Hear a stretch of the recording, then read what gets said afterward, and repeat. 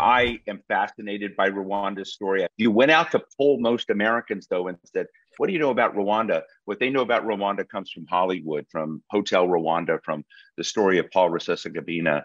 When you and I talked about that before, you made a very strong statement that you would not be bullied has anything changed since we spoke in December? I can only say there is uh, work going on about it. We, we are not people who want to get stuck in one place and not make any movement forward for whatever reason. As you know, even our history, when we have wanted to move on and make this progress we, we talked about earlier, we came to a point where we, we, we forgave the unforgivable. That's how people, even who got involved in the genocide and so on and so forth, most of them have found themselves back into freedom. We don't get stuck with the, our past. There is a discussion that is looking at all possible ways of resolving that issue mm. without compromising the most fundamental aspects of that case.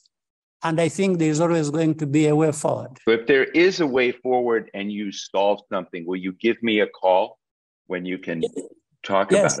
about it? absolutely, absolutely. I will do that.